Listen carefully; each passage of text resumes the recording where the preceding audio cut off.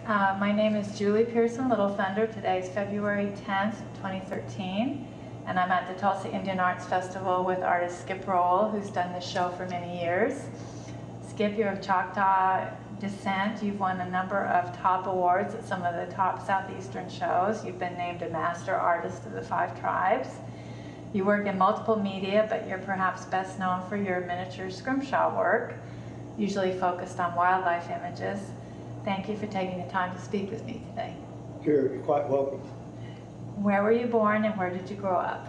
I was born in Durant, Oklahoma, and I spent most of my childhood in Atoka County around a little town called Stringtown, and then I graduated from high school in Atoka.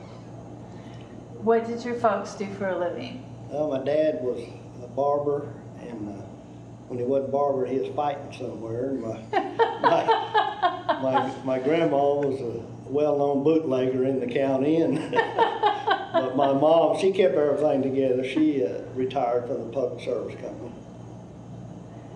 Um, did you have a, is your Choctaw on your mom's side or your dad's side? Uh, it's on my dad's. Did you have a relationship with your grandparents on either side? Uh, yeah, uh, I did. My, uh, like I say, my bootlegging grandmother was one side of my dad's family, and they they were uh, uh, a little sketchy in places all through history, you know. But uh, on my mom's side, why, uh, my grandfather there was a welder and a lay minister. Uh huh. So you got to be around both Yeah. grandparents a little bit. Um, was anybody in your family or extended family artistically gifted?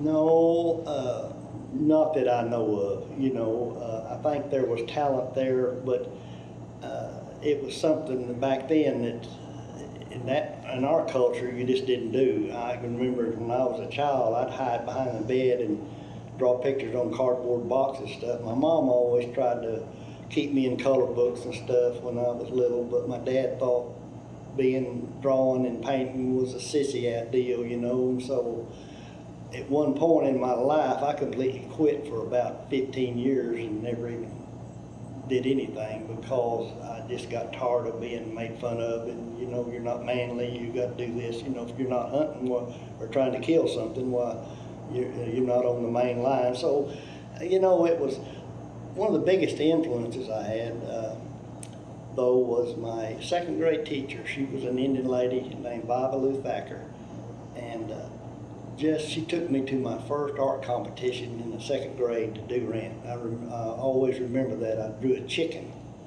and uh, but she al- she was encouraged me, you know, and, and kind of fed what I was was needing there. So that's basically how I got started. That could make a huge difference.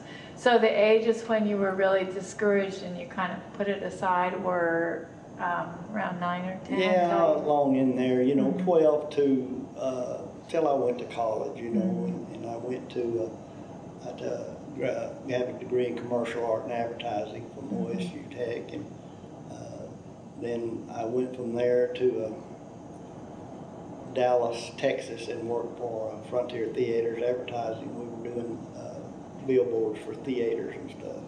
Wow.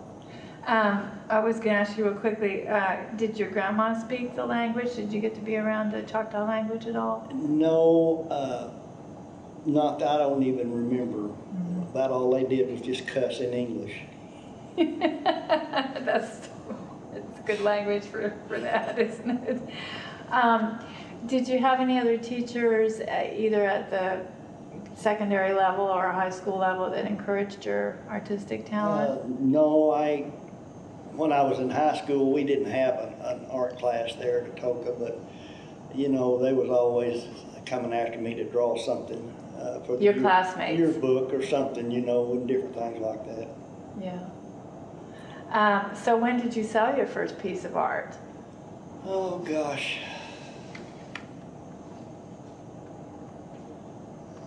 You know, I don't even really remember. I think it was probably, uh, after I came out of the army. Okay, not in high school. No. No. Um, so, in the army, did you utilize your artistic skills at all? Yeah, I, I wound up after they found out that I could do some of that stuff. Why, uh, I'd had to assign to paint the company logos on different things and, and on various occasions, you know, I got a chance to use a little bit of it.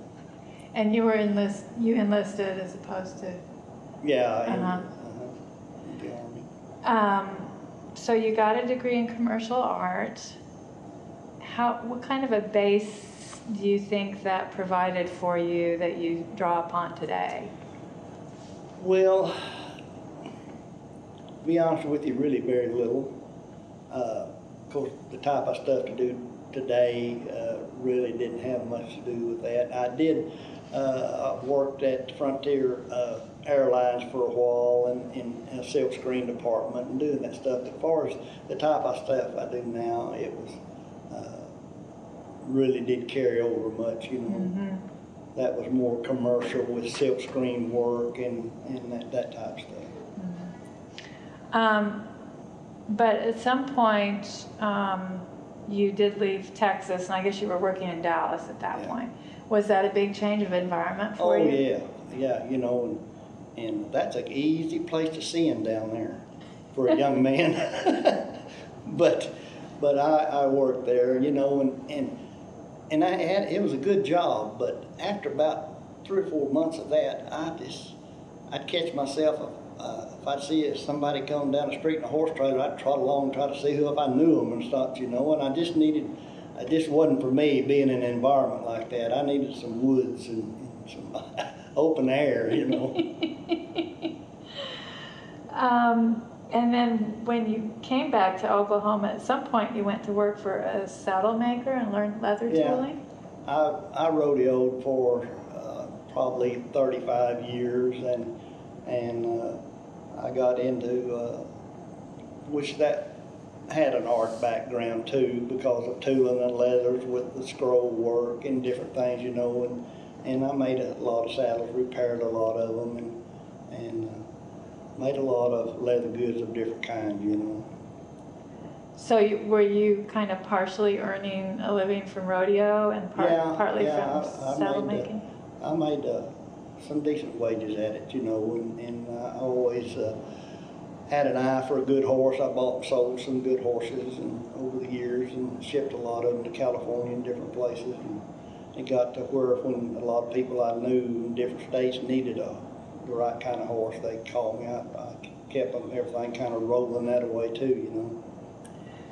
Were you also kind of drawing on the side a little bit while you were rodeoing? No, uh, basically not. A lot of times if we was going on a long trip, I'd take me a piece of wood and set the back the camper and carve out something, you know, and everybody gripe because of wood chips everywhere. But, you know, that's something if it's, and, and I truly believe this, and, and when I go to a- an art class to talk to kids or young people, or, you know, I, I'm a full believer that God gave every human that was ever born a talent of some kind. But it's in its infant form, and it's up to you to develop it. And, uh, and so if that's in you, you're gonna be, I've sat in the woods and carved things and stuff, you know, just, it just, it's there and it's gonna come out, you know, but it takes you to take it from the infant stage to polish it, perfect it, and get it to the point that you can, and one of the worst mistakes that, that I try to talk to young people about that, that have a, a lot of talent, it's real easy uh, especially, and I saw this happen, and I know Merlin has too, that you see a, a young person with a lot of talent, and they have some success, they sell a piece or two, and pretty soon they start making it to sell. And anytime you do that, you're going to lose it. You do each piece like you plan on keeping it yourself, that you'd be proud to hang it in your own house. Then, if you sell it, uh, you keep your quality and you keep your reaching for just a little bit more all the time. So uh, I do sell a lot of my stuff, and in fact, I'm a full-time artist. It's the way I make a living, but I don't make it to sell. That's a nice, thank you, nice distinction. Um, so you were already, I think it sounds like in your early 20s, kind of gravitating towards that three-dimensional work. Yeah, yeah, you know. Did your leather tooling provide any kind of base for your eventual discovery of scrimshaw? How did, how did you discover? Yeah, that was something that always fascinated me. I, of course, the, my culture, I love knives and different things, and I would see uh, some scrimshaw on knife handles or pistol handles or something, you know, and I, I never could figure out how they did it, you know, and I finally found a book, and I remember who wrote it. If I did, I wouldn't tell you because it's the worst thing I ever got hold of. And and so I took that thing. Well, it took me a year to work all that stuff out of me to get it. I, I looked at a couple of early pieces that I found in a drawer here about a year ago, and it looks like you cut them out with a hatchet. And and so that was what I had got from that book. So I, I just kept working down until I developed my own tools, which basically is absolutely nothing but a sewing needle stuck in the end of a dowel rod. And that's what I do all my work with. And you figured that out for yourself, not- not from the scrimshaw book. Did the leather tooling help at all, though, do you think, with that fine? Oh yeah, I still uh, incorporate some of it. In fact, I sold a piece yesterday. It was on a uh, scrimshaw uh, piece of fossil walrus ivory, uh, a little necklace pendant, and uh, I used the same old leather pattern that I used to use in the leather shop. Uh, the only difference was I instead of putting acorns or something, I put little flowers and leaves and, and scrolled a couple of hummingbirds around it, and, and so yeah, you still use some of that. That's neat. So, when did you um, first start entering shows, art shows, native art shows? The first one I entered was uh, a friend of mine uh, there in McAlester named Christine Berner, who uh, has studied art from every famous artist in the world, I guess, at one time or another. Uh, heard that I was doing some scrimshaw stuff and came and bought a couple of knives off of me and encouraged me to enter a, art show in Holdenville, a little small deal, and, and I did a couple of pastels and I won the first place with one and something with the other one, you know, and so uh, that kind of where I got started, you know. Uh, and I was scared to death. I didn't want to take it because I thought then, and this is something else I share with young people. Just because you enter a piece and you don't win with it, that doesn't mean your stuff's not any good. It's either one or two men's opinion, and, and I have judged some art shows, and I, I really have to uh, discipline myself for not gravitating towards the things that I like personally, rather than maybe this over here with a little better quality. So, so that's that has absolutely nothing to do with your talent, whether you win first or, or second or don't at all. Because the next place, you you it, it all balances itself out, you know. But anyway, that's where I started. That was the first one. At Holdenville, yeah. Um, so even though she had bought your scrimshaw and was interested in it, you entered pastels for that Yeah. one. Were they wildlife images? Uh, no, the, uh, the one that I entered over there was a uh, Plains Indian holding a spirit shield. And the reason I didn't take any scrimshaw is because she told me, she said, I'm not sure them people even know what that is. And I have had, I, the strangest thing that happened to me, and I'm not going to tell you which art show it was, uh, don't want to offend anybody, but it was a well-known art show, still going on right now. I had a piece of scrimshaw over there and I went to pick my stuff up, and I didn't win nothing, which, you know, that's okay. But that curator told me, said, this is the beatingest thing I ever saw. He said, I don't know whether I tell you this or not. I said, we had two judges.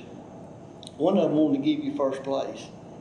One of them said that that wasn't real, that it was done with lasers. And he said they got in an argument, and said what they decided to do was just not judge you at all. Because they didn't even, be honest with you, he said they didn't know what it was. And so I have, have run into that. So probably in the early days, then you were sort of in the process of educating people about what scrimshaw was Some- yeah, well. in this area now, it's well known on the coast and different places, you know, Mhm. but it, it's, uh, uh, something was new for this area, you know. Mhm. What kinds of materials did you start out using when you first started experimenting with scrimshaw? Well, uh, I have done it on just about any, anything you can scratch, but I first started out with, uh, because, you know, I couldn't afford the real stuff and didn't know where to get it, uh, fossil ivory. Uh, I really made it a point not to ever use, uh, modern elephant ivory. Just for the simple reason I love the old stuff better. It has better color to it and stuff. And I don't want to offend anybody or I don't want to get any kind of ivory that came from black market stuff. So I just always refuse to use that. Uh, but when I started out, I, would, I bought some imitation ivory. It's called micarta. It's actually made from ivory dust and epoxy. And you buy it in sheets and cut it out. And it, you can do decent stuff, but nothing like the real thing, you know. So, um, was your subject matter primarily wildlife in the early Scrimshaw works? Yeah, uh, did a lot of wildlife, and, and I've always uh, did some type of Indian stuff, maybe buffaloes or an incorporated teepee and something, you know. But Mhm. basically, a lot of it was just wildlife. Uh, seemed like the market I, I got started doing a wildlife piece. Well, somebody see that said, "Well, do me a deer," or "Can you do this on that?" You know. So there for a while, I was pretty much just kind of doing. Looked like this was the way to go. So I did a lot, a lot of. I still do some wildlife, but Mhm. basically now I do uh, a lot of. Uh, just basically five tribe stuff Mhm. anymore. You know, I, I go back and take. Uh, I like to go back uh, in the early uh, stuff is when they the traders were coming over and trading blankets and different things, and the tribes were torn between the French, English colonies, and all that. You know, and I'm I'm trying to work in that area. I love the uh, the different types. Uh, one piece that I, I did I really liked, and uh, I believe it may be archived in the Five Tribe Museum. I think Miss Griffin bought it, but uh, it was a an Indian standing uh, had a English trade musket, a French blanket, uh, I think it was a French knife and Spanish, all these different things that they were getting as trade goods, and and standing there with the look and stuff that I captured in that was like, I don't know which side to join. You know, what do we do? Where do we go from here? We're, we we don't know. You know, we're caught in the middle of all this turmoil, and and we'll never be the same. And I've got a piece that I'm working on now uh, that I plan on uh, putting in the master show is a Spanish man standing there with all the old Spanish garb on the armor and all that, standing talking to a Cherokee, and basically they're before they ever got anything, you know, in the original uh, dress and stuff, and a couple more whispering over that we'll never be the same, you know, because here's a guy fixing to give us some blankets and the knives and all this stuff, so what we known all our lives is fixing to change, you know. So that area that I'm really interested in trying to show right now. That, that one piece sounds really wonderful too. Um, what was one of your most exciting early awards? Oh, I guess it would be uh, winning the best of show at the the uh, uh, competitive show there at the Five Tribes Museum. You know, that was the first time that I actually felt like maybe I do belong in this. You know. Maybe this is what I need to do. And, and it was for a piece of scrimshaw work. Yeah. You also won second place uh, in sculpture at Colorado Indian Market in 1985. Was that a big show, bigger show than the Yeah, ones you've been to? it was a real big show, and, and uh, I never saw so many people in my life. You know, it, it it snowed that night that we got there about two feet, and I told my wife, I said there won't be ten people here. And so we go to the building. I walk in there, and I uh, before the show, and I walk the door and look, and there's people lined up as far as you could see, four abreast in the snow, waiting to get in there, and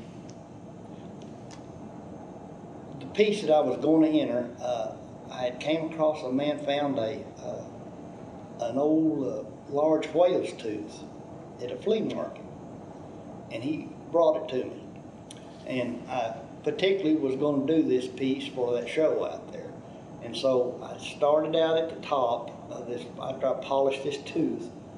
Uh, and it's beautiful ivory, holds tremendous amount of detail, way better than elephant ivory stuff, uh, the mastodon. But I started out with the eagle at the top flying, and then the Rocky Mountains it came down and it had uh, uh, circled this tooth. It had some bighorn sheep, and then it came on down into elk, and uh, then right down at the bottom it worked its way down to a beaver pond and stuff. You know, and I had it on a base and had it uh, on a base that turned where it slowly rotated.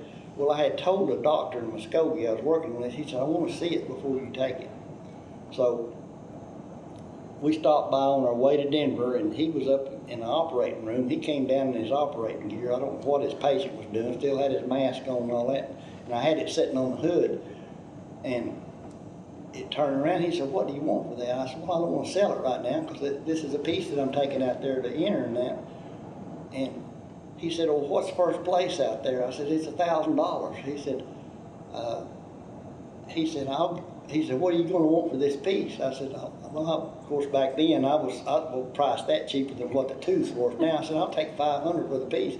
He said, "Okay, so if I give you fifteen hundred dollars, I can have this now, and you play like you won." I said, "Oh, okay," you know. so we make the deal, and I get out there, and I'm not going to enter anything. My wife said, "Yeah, you are." And I picked up a little old piece that wasn't three inches tall and it was on a base. And she actually took it and put it in sculpture. I said, "You got to be nuts!" They had bronzes out there and everything, and I ended up winning the cat. I was embarrassed, you know. I, and people look at you funny, like, "But you know, what do you do?" you found a category, yeah. though. It's yeah. that's a great story. Um, you did a lot of traveling to Texas early on. What was different from the Texas market than the what's different between the two markets, Texas and Oklahoma? Well, be honest with you, I mean, I'm an Okie through and through. The money's better in Texas. Uh, money is, is uh, even this year. Uh, I did a show there in, uh, I can't think of the name of that town. Right, it's actually in Dallas. It's just they call it something else. And I had a show there in July, and and when everything was pretty much, you know, as well as I do, when the economy gets bad, art's the first thing that takes a hit. But uh, that show was an outside show, which I very rarely ever do one of them. I don't like them, but I did this anyway, and I just sold nearly everything I had, you know. So the economy is was better there, and that's what made the difference, mm-hmm. you know. Um, sometimes the business aspect of art is hard to master, and I'm wondering what some of your early lessons in that area were.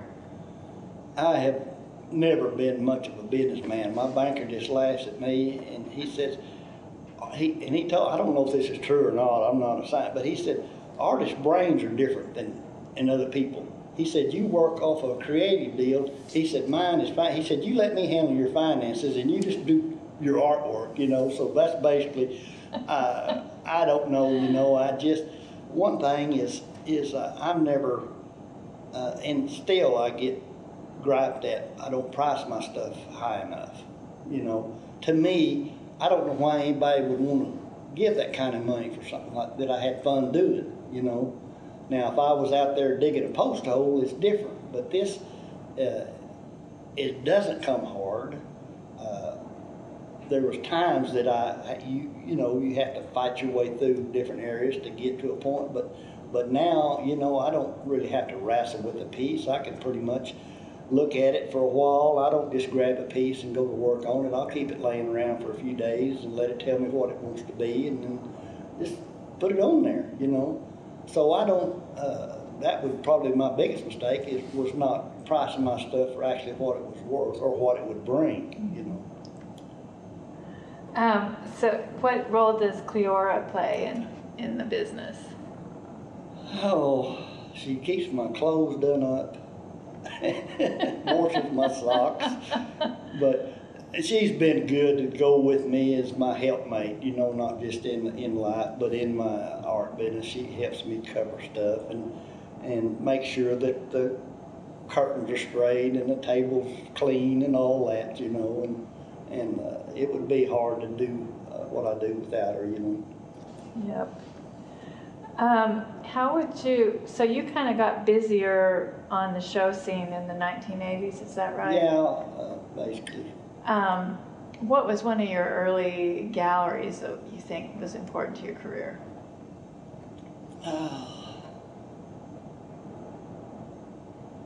Well, I, I, first stuff I put in the gallery was in uh, Mrs. Verner Gallery there in McAlester, and, and some of the local clientele bought some pieces and stuff. And my career has never just taken a great leap from being here to there. It was a process, and I, I think most everybody's that way. You know, you you just have to.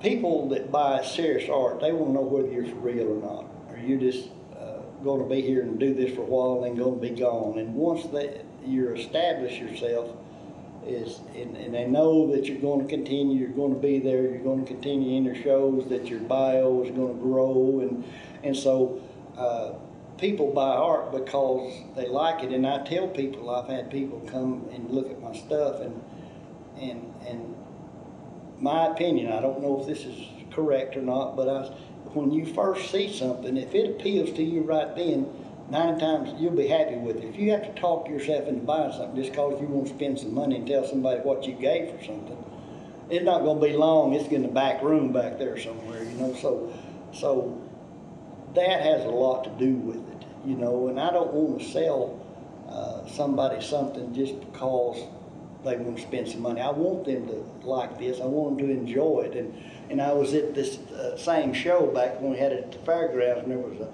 I had a painting that I did of just a. Uh, maybe a 18 by 24, or some smaller type painting of a ended with a red blanket on. And this young couple kept coming by there about four or five times, and they would look at it, and I could hear them stepping over. They'd step over and talk. And one of them, I think the painting was like $750 or something. She said, they were, right, well, we can't afford that oh, we want that, but can we not do that? And I, you know, I was just getting pieces of this, mm-hmm. and the show was about over, and they came back by and looked at it again, and I said, y'all really like that piece, don't you? I said, oh, yes, we love it. I said, we just cannot work that into our budget right now. They were probably in their early 20s. And I said, I'm going to tell you what I do. I said, if you'll pay me for what I got in that frame, I'm going to give you this picture just for the simple reason is because y'all love it, and I know you'll enjoy it, and I want you to have it. And they like the fellow, and I still get Christmas cards from them, you know. And so that, and I've had people that's bought stuff that I knew. They just wanted to spend some money, you know. And, and so I, I had rather, I have to sell this stuff, but but I got more enjoyment out of giving them that piece than I did selling maybe some other pieces, you know. That's, that's a great story. Um, how do you think the native art scene changed from the 80s to the 90s? And maybe you haven't been in the gallery, on the gallery scene as, in, you know, enough to notice those changes, but maybe booth shows too from the 80s to the 90s. How did it change? Well, you know, it, it uh, it's like anything, it goes back again to how the economy's flowing. You know, uh, it has its ups and then it'll have its lows and it'll get back up again. And and uh, I still have maintained a pretty steady uh, movement of my work through these periods. Uh, a lot of times I have to. Uh, I have a developed a line of customers that pretty much I can do something and know, hey, he'll like this. You know, most of my stuff I sell over the telephone. you know, I don't travel uh, like I did because uh, we adopted a little girl about 18 years ago, and, and she was just like two weeks old, and and I didn't just want to leave this little orphan with somebody to take care of while we travel. So I, I started cutting back on shows and just doing local stuff and trying to, you know, uh, there's more important things in life than making money, you know. And so uh, I cut back there, and then now that she's, I have to brag on her a little bit. She just she scored a 33 on her ACT, and that wasn't good enough. She took it again yesterday and wants to get it up to a 34, and, and she plays softball. She's uh, class president. She just does everything, you know. Uh, but I think it's like anything in life, you have to prioritize, what's the word? Prioritize, Yeah, that's what. I'm trying to say. But you have to put things in perspective, you know, and as I continue to do my art, there are a lot of times I would depend on just calling the customer, say, I had this piece, I'll send you a photograph of it if you'd like, and, and so that's, uh, that's the way I go. And I, I do have done business with uh, Eagle Tree Gallery down by Nashville in, uh, uh, Jerry Ellis, and, and he's, he's been a good outlet too, you know, and I know that there's times if we go to a show and the show, crowd's not very good and the show's been a little weak, that I know times he's come over and bought things just on that account, you know, so developing rela- relationships like that with gallery owners and, and people that all, you put it all in a pot, stir it up, and it keeps you going, you know. Um, in 1990, the Indian Arts and Crafts Act was passed, and I wondered if you remember the impact that had kind of on the, the native art scene. Oh, the definitely. Uh, You know, and, and, uh, I think it, conception was a good thing. Uh, I know that, and I've been to shows to where people were selling, China-made beads and Japanese stuff like that and pawning them off on people as, as Indian craft, and, and I think that that definitely needed to have been stopped. I think that that part was a good thing. I think it kind of got out of hand, you know. Uh, I know as well as, as my family, and we researched it, and, and I have enough documentation that I could get a card right now, but I refuse to do it. And there's been shows that I've been uh, kicked out of on that account. And people say, why don't you do it? Uh, it goes back, and, and like I say, we go back and, and traced it back to a, an Indian named Notosh Tubby, who was an interpreter on the Trail of Tears. I have copies of letters that my great grandmother wrote so white men could come into her allotment and work on her farm, you know. But they were not on the roll because they did not want their children sent off to some Indian school somewhere. And so that was a choice they made. And I just thought I would honor that. Uh, if they don't let me in a show, I'll just go to another one. And so it kind of got out of hand that way. I know uh, up there at Lost City, there's some Cherokee people that can't even speak English that are not card holders. They have to bring somebody with them when they get ready to sell their stuff. And, and that's wrong, you know. Uh, so it has its pros and cons, and it has definitely affected uh, some shows, and some of them it hasn't. So you know, I just I just learned to go with. That's the thing about being in as long as I have. Uh, I can get into a show anywhere, pretty much when I want to. I don't have to mail in photographs, and you know, I can just send them a bio and, and go. So uh, it's opened up for me, but it's took time. You know, it's not nothing that just. And so I actually think the act was a good thing. Uh, it's like anything, though, it, if you're not careful, it gets out of control. Um, how did it um, feel to be to to earn that title, Master Artist of the Five Tribes? What did that mean to you? Oh, it was great, you know. Uh, I had friends like Bill Rabbit and stuff. When I first got started, Bill and I got to be good friends, and and uh, several others, and and I something that I thought, well, I don't know if I'll ever uh, make that or not, you know, and. and uh, I have never been real high on myself as far as thinking that I'm it. You know, I've always, a lot of times when I'd win something, I would actually feel self-conscious because I won. Uh, but anyway, it was it was a great thing, and it was a, a real boost to to my business. You know, because it gives you certain uh, authenticity, and I have sold several pieces just because I had that plate on my desk or on my table that I am a master artist of the five civilized tribes. So it gives you some credibility because most people know that you don't get that unless you earn it, you know. And it took several years of just continuing uh, with the shows and different things and winning, and, and, and so that's uh, it was a tremendous boost, you know, and I'm proud of it. Yeah. Um, what's the most memorable comment or piece of feedback you got from a collector? I'm sorry, I didn't really get that Um, question. What's the most memorable feedback you've gotten from a collector or comment? Well, I guess the, the funniest thing is, and I also got, I had a guy gave me a moose antler one time, and I threw that thing around on my porch at the shop and kicked it out of the way two or three times. Now, what am I going to do with this? One day I got the idea to carve it, so I set it up and I carved it, uh, eagle in it, put it on a base, everything, and I've done. Uh, in fact, I have I always have some there. Uh, it's one of my better selling items, you know, and. Uh, we were at You mean moose antlers now? yeah Yes. and we were at a show i want to say it was in arlington texas and this man came up with some friends that he was visiting he was from uh, norway he didn't speak any english but he fell in love with this eagle carbon and he bought it and we got a phone call from the friends that lived in Dallas and, and told me, said he would not let them ship that. Said he carried that back to Norway in his lap on the airplane. and said he wouldn't allow now anybody to touch it. And then about a week later, I get this letter from Norway, wrote in Norwegian, and I still don't to this day know what it says.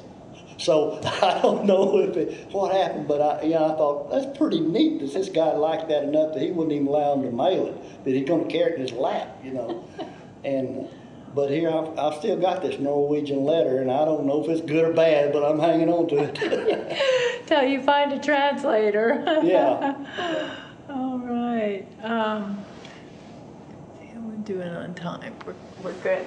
Um, we're going to shift into your philosophies and practices a little bit. Um, a little bit more technical discussion, but not super technical for our. Um, Scrimshaw work is very miniature, and that's a, it's working in a different scale. Um, what helped you the most kind of get a hold of that scale? well, some of my stuff actually, some of the things I do now are considered large for scrimshaw because I do some pieces that are maybe two and a half, three inches by four or five inches, you know, and, and I put them in shadow boxes and stuff. But it, it uh, basically, considering it against painting and stuff, yes, it is uh, tedious, small work, and uh, I don't really know how to explain that question. Is except that you just uh, a lot of times I may have to draw something two or three times because I get it too. You just and here's the thing about the difference of scrimshaw than than say painting. Uh, basically, painting you just you got a canvas or you got a piece of paper, whatever. They're all the same, uh, and that's what I love about doing this scrimshaw work. It, it, it's always challenging. Uh, it always keeps you on your toes. You don't get complacent with it because every piece, and basically what I use now mostly is old woolly mammoth fossilized ivory. Uh, they're coming out with a lot of it now since the ice is melting up there, and they're, they're getting some good pieces out of Siberia, and has tremendous color to it.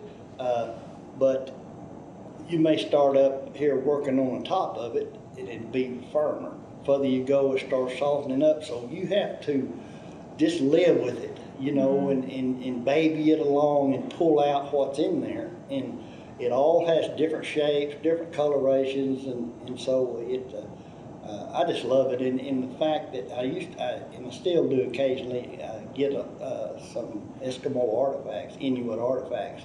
Uh, they didn't have the stone that we do here in this country, so a lot of their stuff was made out of fossil walrus tusk and ivory, uh, spearheads and, and harpoon heads and uh, sled runners and stuff. And, and I did a, uh, in fact, I sold a man a collection of 30, almost 300 pieces to one man that I had bought back from a collector of mine who passed away.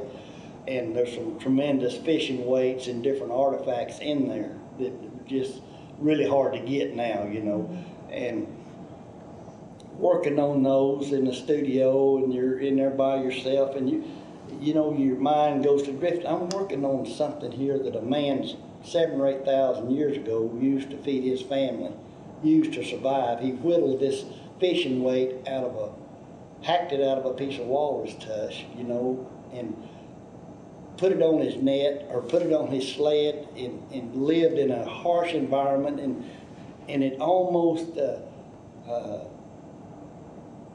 it's kind of a eerie feeling sometimes to realize this or this mastodon elephant roamed this country uh, 75,000 years ago and here I've got a piece of it in my studio and and so it's it's I just I love doing that stuff. It, it's a lot more than just painting on the canvas. Are um, the fossilized mastodon? Is do you order that online or do you buy from dealers? do you Well- go in person? Uh, I just bought two pieces here this morning from a friend of mine who got it from a friend of hers in Arkansas. That got it from somewhere else, you know. So, but I do buy a lot of it, and and used to you could go. I haven't, but I it would have been legal for me to go up to Alaska and go to the villages and buy this stuff.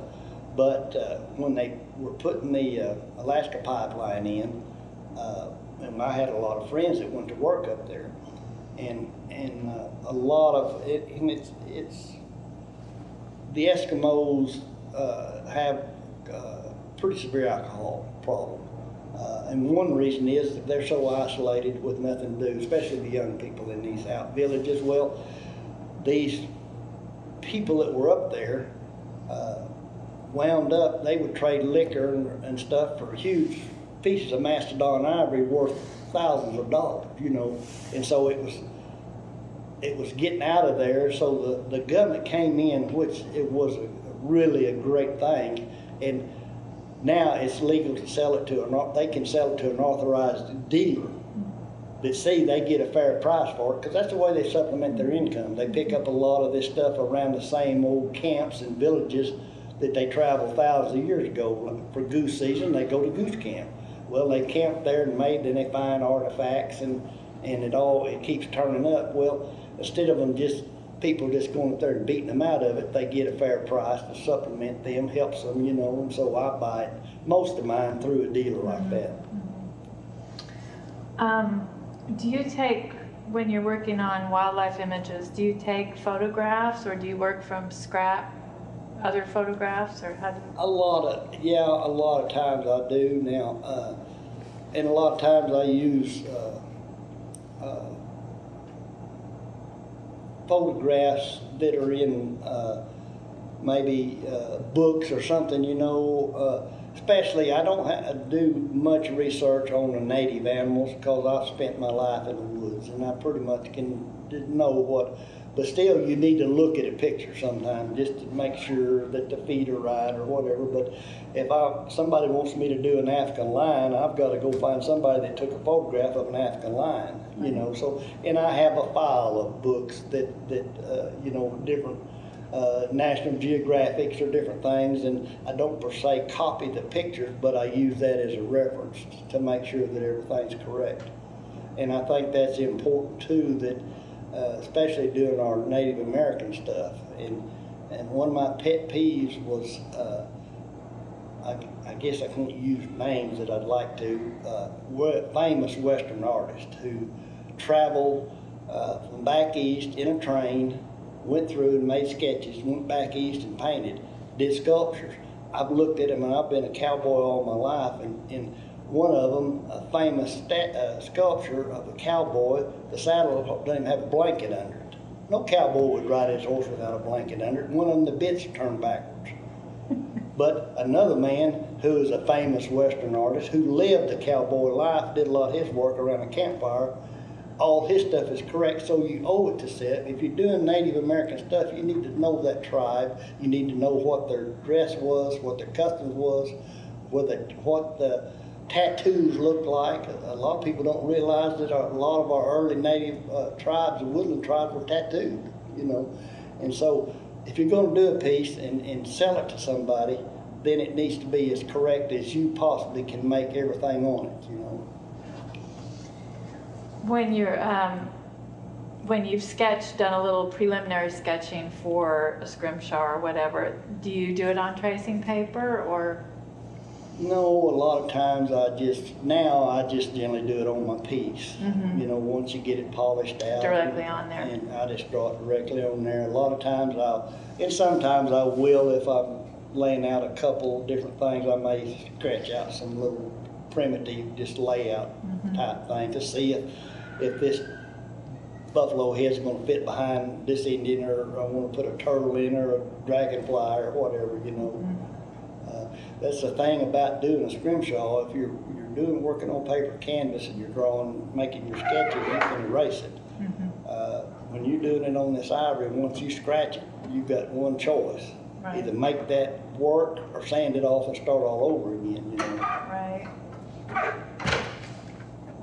Do you work on um, any other materials that you carve regularly besides bone or fossilized um, Yeah, I've done ivory or some, antler? I've done some bronzes, I've done about four bronzes and, Awesome. and uh, What was that experience like?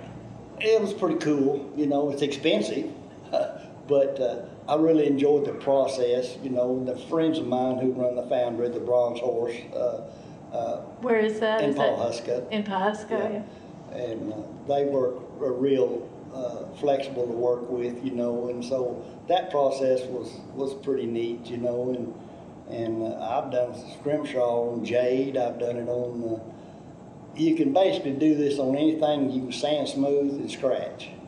Uh, and it's got quite a history. A lot of uh, uh, explorers, the mountain men and stuff who opened up the West, uh, a lot of them didn't have pencil and paper, but nearly all of them carried white powder horns. And they would take a knife on point and make maps. And, and you can see, I saw some of these in museums that uh, they made maps to where the passes were through the mountains and different things. And, and uh, just, I was doing uh, some research one time and, and uh, for a Bible class that I was going to teach. And uh, I was looking through a, a Bible book that I had, and, and something caught my eye, and I looked, and there's this elephant tusk scrimshaw in there that came out of a tomb in Egypt, and what was depicted on it was a scrimshaw of the exodus of the children of Israel.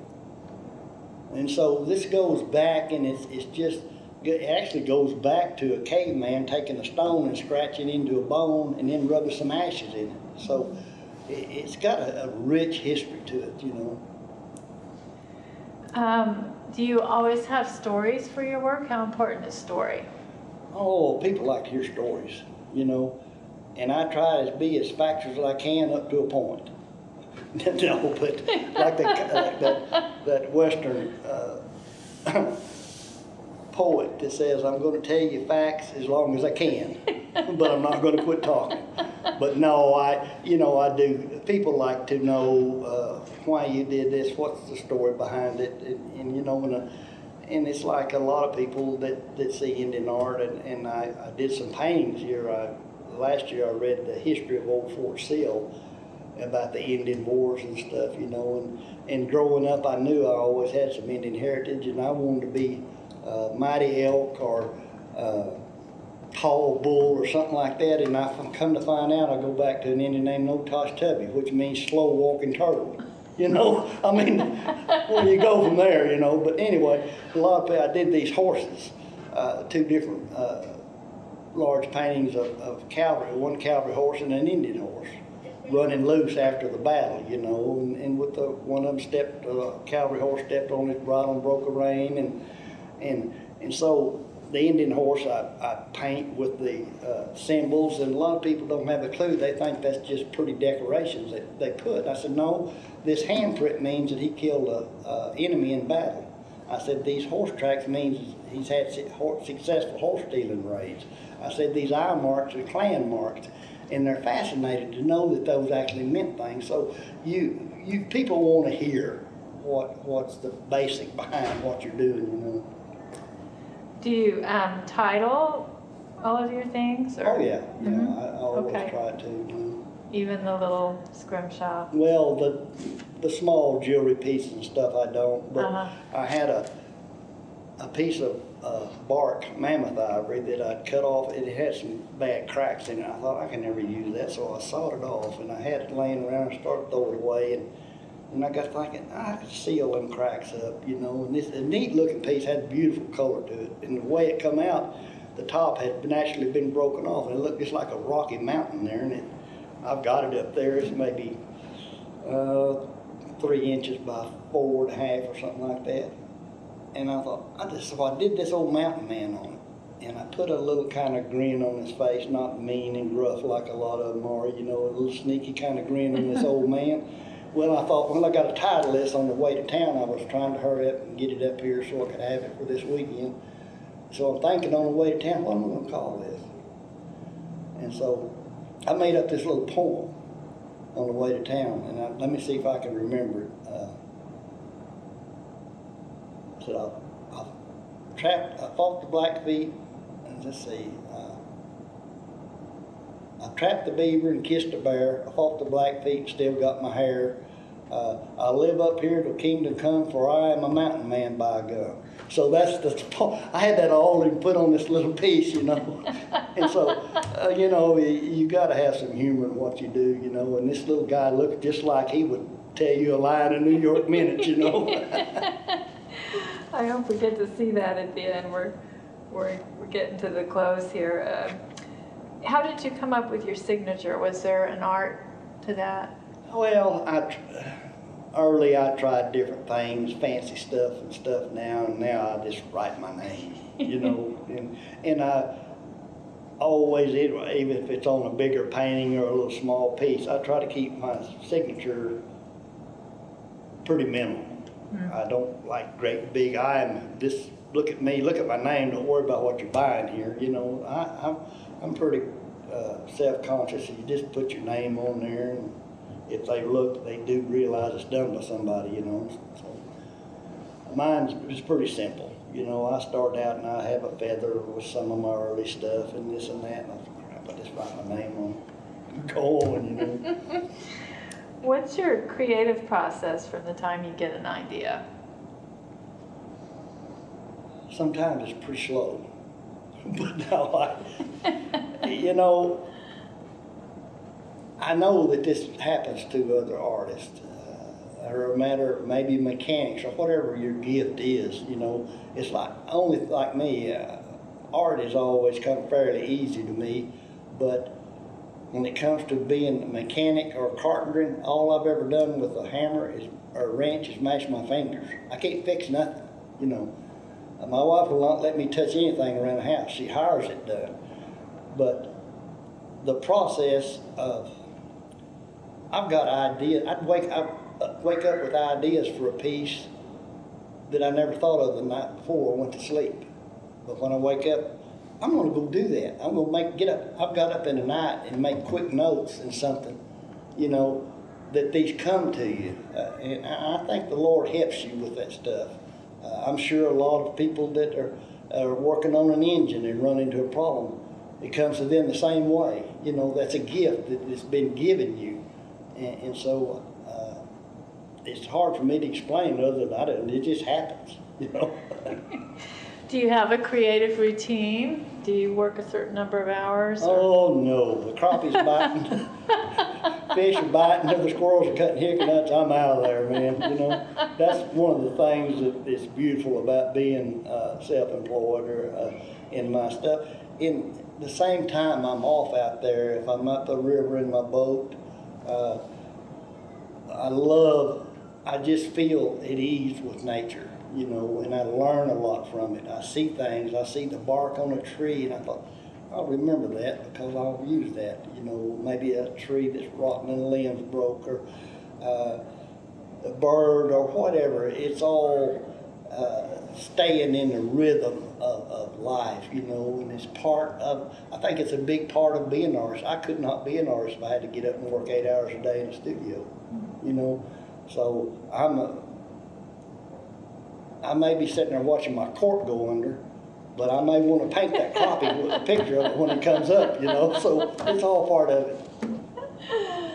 Okay, so we're looking at this mountain man piece that you were uh, telling us the poem of. You want to Yeah, that's the one I was telling you about a while ago. And if you look at that old, uh, this is called bark ivory. It's actually the piece that's on the outside that takes all the weathering and it, it gives it, it looks just like a tree bark. If you was to see that before it's polished out, you wouldn't even pick it up.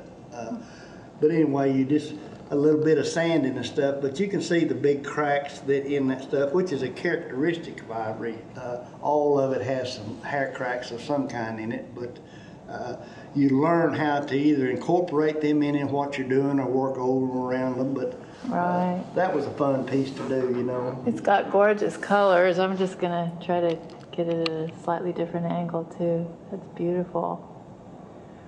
All right, and how about the knife? Oh yeah, and even the shape of the of the wood piece behind it is imitating that of the knife handle. You want to talk ab- talk about this piece? a Yeah, little bit? this uh, this piece is done on a. Actually, it's a warthog tusk that uh, comes out of Africa. Buy them through dealers, and they're just terrible looking when you get them. And the, the actually as much work as getting them sanded down past the enamel and polished. And once you get into that, it's a beautiful high grade of ivory. It holds tremendous detail, but. Uh, this I've with these I've incorporated the carving on the end of the eagle head plus the added of the scrimshaw on the knife and actually I even acid etched the blades with eagles and different things in there so uh, I've really had a lot of uh, success with these they're uh, pretty collectible and, and they've been a good piece for me. And you added the turquoise too, huh? Yeah, I, a lot of times I'll use turquoise or jasper or maybe black buffalo horn, and it just all of that combined, it just makes it work. You know, the the scrimshaw piece we looked at, or you know, I I certainly don't think I've arrived. I'm still uh, trying new things, still developing. It took me about a year to learn how to color this stuff, and I put some subtle color in it. Uh, you can't just use paint or you can't use dye, and it, it, it's a process that that uh, a lot of people now that try to pick my brain and just want me to. How do you do that? I want to do. You know, uh, I'll be glad to help anybody teach. I'm going to. Uh, I'm fixing to maybe start this summer. Start having some classes and passing some of the things that I've learned on because I know I'm not going to be able to do this from now. Uh, the little tiny stuff. I'm nearly 70 years old, so it's getting hard for me to see, and and so. Uh, these are things that I'm, I'm going to share with other people and, and try to keep it going on. And Oh, that's great. How about this piece? This is just gorgeous. yeah, this So- is one of the uh, antler carvings that I were talking about earlier. Uh, this particular one is carved from moose antler, and basically moose carve better than anything because they're one of the few antlers that's pretty solid all the way through them. Uh, they're not like a deer horn or an elk that have that honeycomb inside of them, and and they make beautiful carvings. They're uh, a little bit tricky because this one uh, is actually thicker than some, and it's the thickest part's not over three, about three quarters of an inch. So you have to learn how to get some three-dimensional work in such a thin area. So mm-hmm. it's you learn how to carve stuff back and set stuff forward, and it it makes it look alive instead of just a dead piece, you know. Yeah, with the fish and everything. It's just just gorgeous. Well, thank you so much for your time today, Skip.